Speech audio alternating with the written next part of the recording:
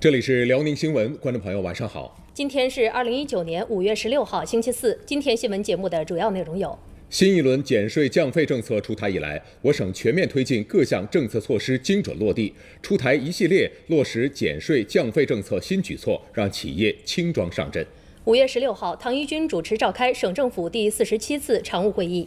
五月十三号至十四号，民进中央在沈阳召开加强农村基本公共文化服务建设调研座谈会和二零一九年基础教育改革座谈会。沈阳市政府与大连万达集团股份有限公司举行战略合作框架协议签约仪式，从谈判到签约只用了一个月时间，就实现万达八百亿的投资落地，再次创造新的沈阳速度。我省公安部门推出打造最优发展环境三十五项新举措，对审批事项进行再瘦身。五月十五号是我省第十三个政务公开日，今年的主题是让信息公开助力重实干、强执行抓落实专项行动落实。以下请看详细报道。积极实施各项减税降费政策，是我省二零一九年重实干、强执行抓落实专项行动的项目之一。新一轮减税降费政策出台以来，国家税务总局辽宁省税务局将实施减税降费作为今年全省税务系统的一号落实工程、一号督查事项，全面推进各项政策措施精准落地，采取了落实减税降费政策三十项工作措施、服务纳税人和缴费人二十项承诺等一系列实打实、硬碰硬的举措。在落实减税降费政策过程中，本溪市税务局率先在全省开展了税务机关自发退税和批量退税，改变了过去由纳税人提出申请往返税务机关进行办理的固有模式，由税务机关自发对纳税人的缴税情况进行核实，发现应退税款，直接把税款退到纳税人账户，并通知纳税人。我们目前截至四月末已经办理了将近，呃三十多万的那个退退税款，而且我们税务局管主动发起了对全部那个应享受减免税的纳税人进行了全面核查，纳税人的满意度还是比较高的。抚顺市税务局根据不同行业、不同规模、适用不同政策措施的纳税人特点，分批组织开展七十余场面对面减税降费专题辅导培训。受众人数近万人次，以多种形式开展精准上门辅导两百余次，让企业全面了解、更便利享受减税降费政策红利。啊，增值税率的降低啊，使企业二零一九年预计少交税款四个亿。呃，个人基本养老保险降低四个百分点，使企业全年预计少交六千六百万。那么减税降费呀，企业全年大数是四点六六亿。小微企业是促进创业和保持就业稳定的主力军。新政策将小微企业免税标准提高至月销售额十万元，免税政策受益面大幅度扩大。从今年首季申报情况看，小微企业普惠性减税明显减轻了其税收负担。也参照呃一八年这样一个所得税比例的话，我们也会减免十万左右这样一个所得税，在呃增值税这块再减免七万块钱，这样我们企业无形当中就给我们企业减免税负将近十七万到十八万之间这么一个税负，为我们企业的话这个负担减轻了很多，也对我们建设这个企业的话也增加了很多的信心。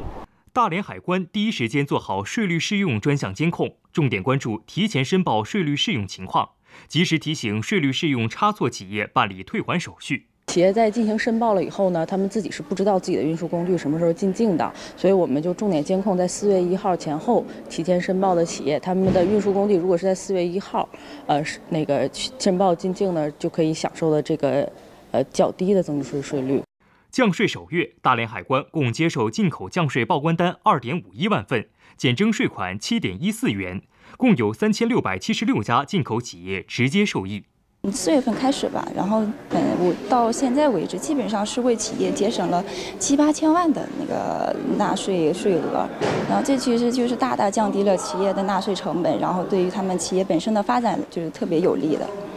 减税降费政策的深入实施，促使我省企业轻装上阵，企业市场竞争力不断增强，为我省经济发展注入了强大动力。本台报道。五月十六号，省委副书记、省长唐一军主持召开省政府第四十七次常务会议，传达学习习近平总书记在全国公安工作会议上的重要讲话精神，研究我省贯彻落实意见，部署省政府重点工作。会议指出。全省各级政府和公安机关要认真学习领会习近平总书记重要讲话精神，始终坚持党对公安工作的绝对领导，牢牢把握八个必须坚持，忠诚履行新时代公安工作的使命任务，奋力开创新时代辽宁公安事业发展新局面。一要以更大作为护航振兴发展。以习近平总书记重要讲话精神为指导，强化组织领导，深化改革创新，着力推进政治建警、改革强警、科技兴警从严治警，全面提升公安工作整体效能，为加快推进辽宁全面振兴、全方位振兴保驾护航。二要以更高标准推动公安工作。对照中央要求，结合我省实际，抓紧制定出台我省加强新时代公安工作的实施意见，逐项细化任务，明确责任分工，扎实做好保安全、护稳定、促发展、惠民生各项工作，不断提升新时代公安工作能力和水平。三要以更严要求锻造公安铁军，强化政治引领和支持保障，按照四个铁一般要求，健全完善警务管理体系，规范公正文明执法，大力推进公安队伍革命化、正规化、专业化、职业化建设，使全省人民群众安全感更加充实、更有保障、更可持续。会议审议通过了关于调整我省退休人员基本养老金方案。会议指出。调整退休人员基本养老金，直接关系到企业和机关事业单位退休人员的切身利益，政策性强，关注度高。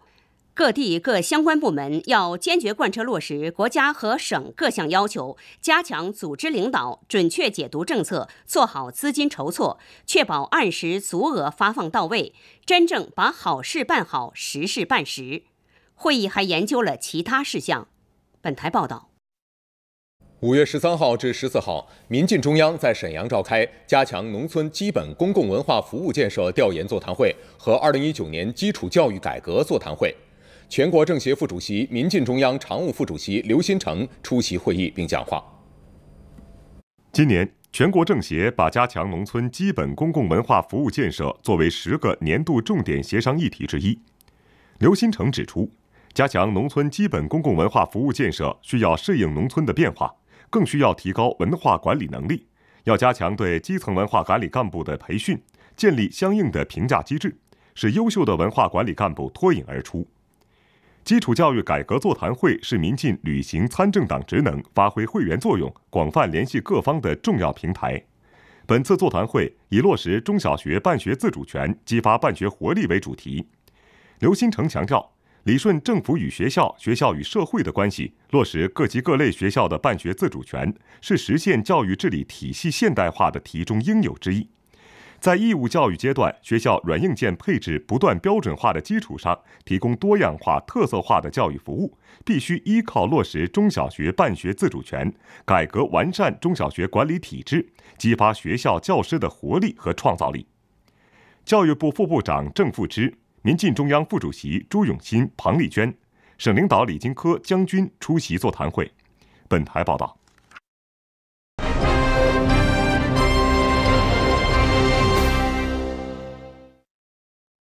五月十五号，沈阳市政府与大连万达集团股份有限公司举行战略合作框架协议签约仪式。万达集团将在已完成投资二百五十亿元的基础上，在沈阳再追加投资八百亿元。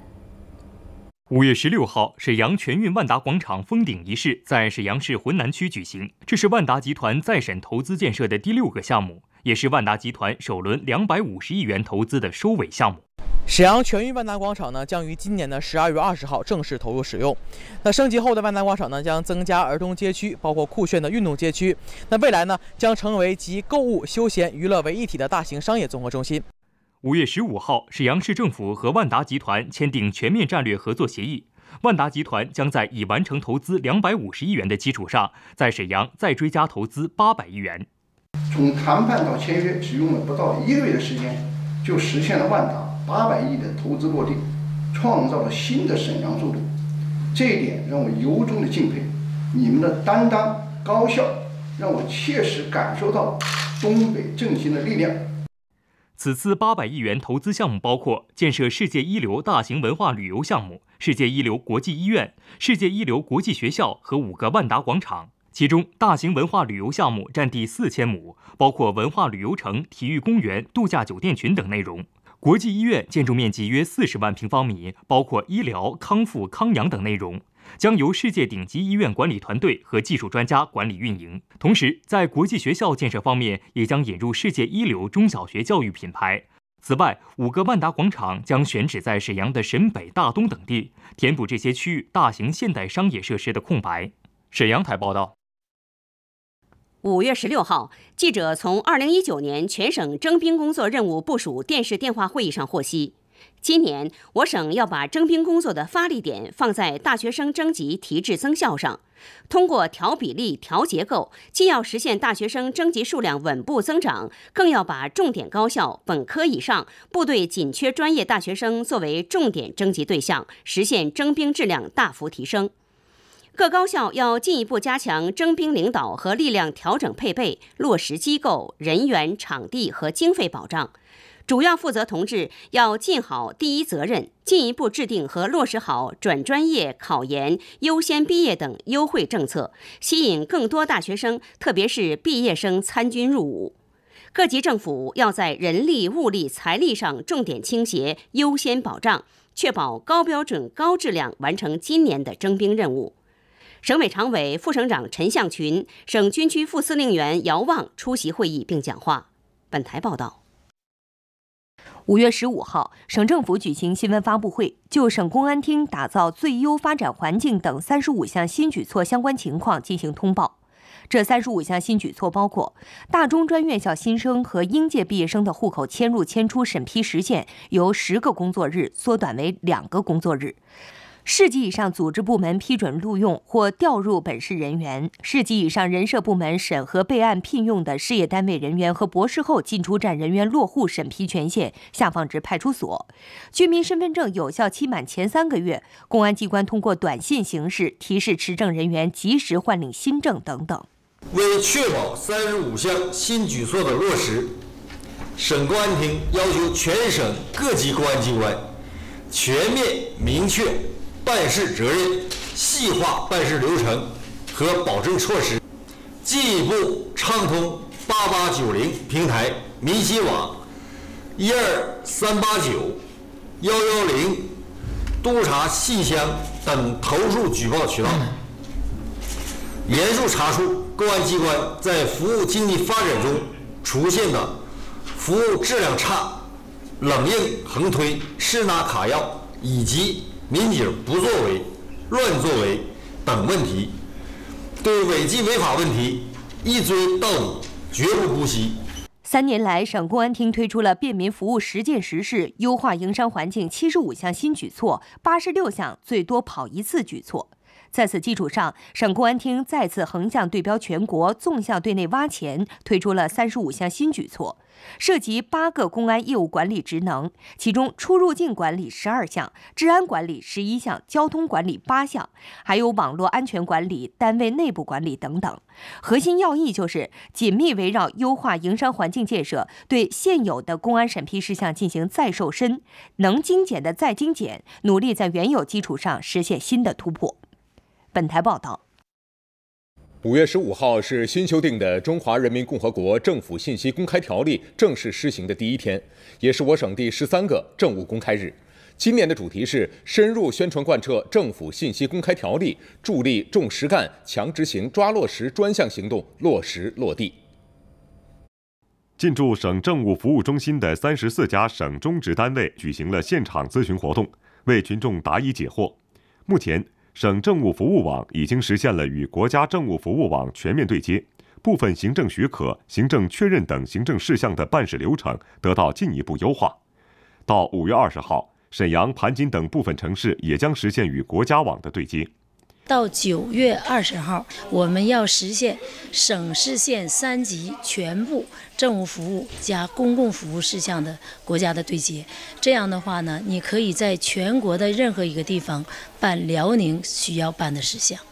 省财政厅对辽宁省优化营商环境条例严厉整治政府失信行为专项工作实施方案等内容进行了公示，并将省直个人公积金贷款审批、注册会计师审批相关流程等制作成办事指南进行宣传发放，现场答疑解惑。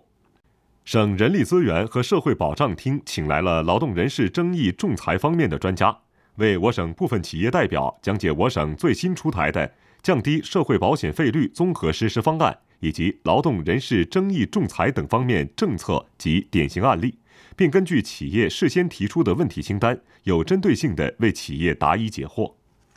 沈府新区的政务公开日活动突出了三个走进：走进社区，解读政策措施，征求群众意见。走进高校，为有创业意愿的大学生提供政策辅导咨询服务；邀请企业走进政务大厅，宣讲扶持企业新政策，解读政务审批新模式。重点宣传新区幺三三零的审批服务工作模式，即一个工作日办结企业开办，三个工作日办结不动产登记，三十个工作日办结建设工程审批，助力企业的发展和新区的建设。在大连市公共法律服务中心，专业法律服务人员正在为小微企业和市民提供法律咨询服务。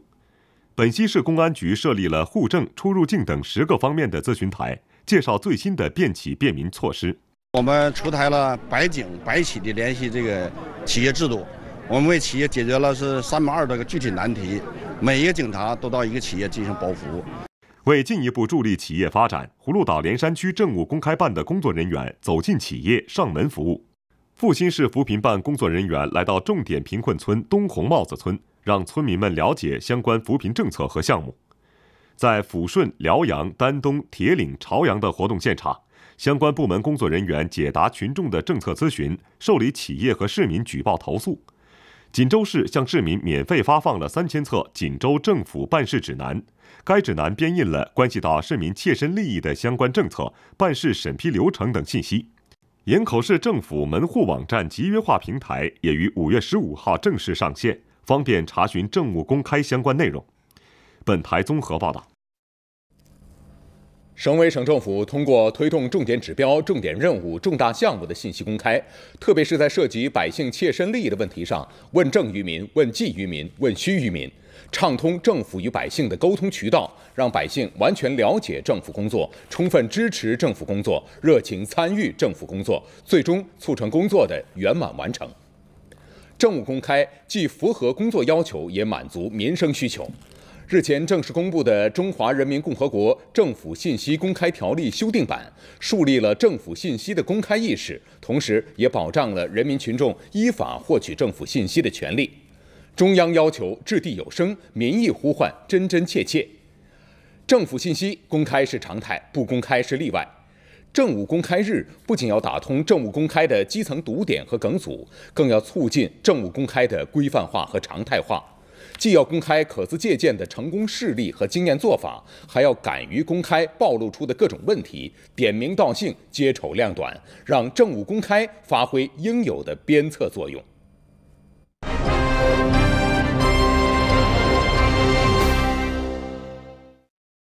五月十六号，第十五届中国深圳国际文化产业博览交易会在深圳会展中心开幕，由我省十四个市、五家省直宣传文化系统单位、三所高校组成的辽宁参展团在本届文博会上精彩亮相。本届文博会辽宁展区集中展示了辽宁文化与科技融合发展的新理念、新趋势，展示了辽宁深厚的文化文艺资源以及非物质文化遗产的继承与创新等内容。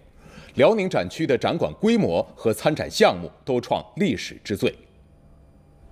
五月十五号，由中共辽宁省委宣传部、中国报告文学学会主办，辽宁出版集团、辽宁人民出版社承办的长篇报告文学《春归库布齐》出版座谈会在北京举行。中国作家协会副会长、中国报告文学学会会长何建明等三十多位与会专家学者对辽宁人民出版社出版的《春归库布齐》给予了高度评价。《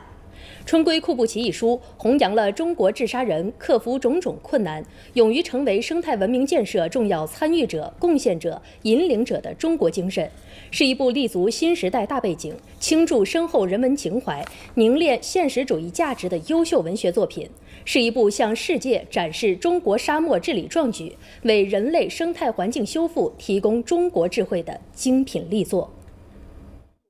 五月十六号，海河、辽河、松花江流域禁渔期制度在三个流域涉及的十个省区市同步启动。从五月十六号至七月三十一号，辽河干流、主要支流以及所属的水库、湖泊、湿地禁止除钓具之外的所有作业方式。禁渔期制度对于改善水域生态环境、建设水域生态文明、恢复渔业资源，特别是对于辽宁的细鳞龟和瓦氏亚亚罗鱼等土著的淡水品种，具有很好的恢复作用。同时呢，也使全省的渔业资源得到全面的休养生息。本台报道。五月十五号，大连市沙河口区人民法院对金义章涉黑案中的一百四十四位被害人进行了集中退赔，退赔总额达一百五十四万元。经过一审、二审，法院判决，以金义章为首的三十七人犯组织领导参加黑社会性质组织罪成立，主犯金义章数罪并罚，被判处有期徒刑二十年，并处没收个人全部财产。其他被告人分别被判处八年到六个月不等的有期徒刑。司法机关依法对该组织犯罪分子聚敛的财物及其收益予以追缴没收，对刑事附带民事原告强迫交易罪被害人、故意伤害罪被害人予以赔付。核实被害人这个身份，呃，包括他的电话联系方式啊，我们通过这个多种渠道，呃，在这个近期之内呢，反复的这样沟通和查阅，那确定这个人员名单之后呢，呃，然后依法通知他们，争取呢在第一时间把这个钱款返回到这个受害群众的手里。本次集中退赔总额达一百五十四万元，其中包括故意毁坏财物罪的被害人江某某等七人的财产损失四十三万元。故意伤害罪的被害人洪某的医疗赔偿款三十四万元，强迫交易罪的被害人于某等一百三十六人的财产损失近七十七万元。相关退赔手续一次完成，集中办理，钱款直接汇入被害人银行卡内。本台和大连台报道。五月十六号，省人大常委会启动《中华人民共和国就业促进法》和《辽宁省就业促进条例》执法检查工作。检查重点包括就业优先战略和积极就业政策落实情况，传统工业产业与新兴产业吸纳带动就业情况，职业教育和技能培训开展情况等，发现执行法律法规中存在的问题，研究促进就业创业工作的有效措施和办法。记者从省政府新闻办五月十六号召开的发布会上了解到。第五次中国中东欧国家地方省州长联合会工作组会议将于六月十号至十二号在大连举行。此次工作组会议将重点讨论二零二零年第五次中国中东欧国家地方领导人会议方案，确定会议时间、地点、主题、分论坛议题等。五月十五号到十七号，省工业和信息化厅在沈阳组织开展推动优质企业多渠道上市及科创板注册制度准备和应对公益培训。邀请知名专家团队为我省三百余家中小企业的负责人以及各市工信局的相关工作人员进行专项培训。五月十五号，记者从沈阳市政府召开的新闻发布会上了解到，二零一九第四届中国沈阳国际机器人大会将于八月三十一号至九月一号在沈阳新世界博览馆举行。大会以人工智能与机器人为主题，设置了高端专家对话、机器人项目对接洽谈会等活动。为期四天的二零一九年大连进出口商品交易会五月十六号启幕，吸引了来自四十个国家和地区的近五百家企业参展。交易会不但精心设立了一带一路、跨境电商等精品展区，还给贵州六盘水、新疆石河子、辽宁朝阳等地区提供了免费展位。东北地区首个工业人工智能研究机构——东北大学工业人工智能研究院，近日在沈阳成立。将为沈阳市实施下一代智能制造技术和新一轮工业变革提供科研驱动力。五月十六号，营口市辽剧团组织四十多名演职人员到营口盖州市双台镇复兴村开展纵文化稻香村活动，计划为村民巡演八场辽剧，其中还有辽剧版的营口有礼歌曲。本台综合报道。感谢收看今天的辽宁新闻。明天的同一时间，欢迎您继续关注我们的节目。观众朋友，再见。再见。